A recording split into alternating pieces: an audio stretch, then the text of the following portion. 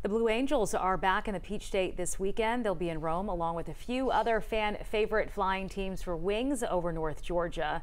The show switched to a drive-in format last year to help with social distancing. They're keeping that same plan this year, but also adding a patio section for people who want to get away from their cars. We have all the details on 11alive.com.